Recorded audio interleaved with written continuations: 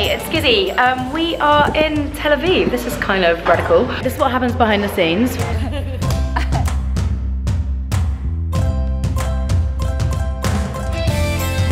We've been filming with Michal, who's um, pretty much the number one hot as, I was about to say sorry. Mustard drinking beer. It's fine, we just got here. Working really, really hard. Really handsome butcher. It's like a baby celeriac. It's so small.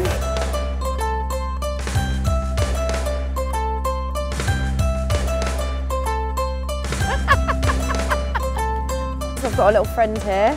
I want to give him a cuddle. He's sort of like coming around eat, eating all of this, everything we've got going on. Oh.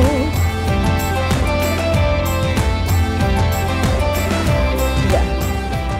This is my new best friend.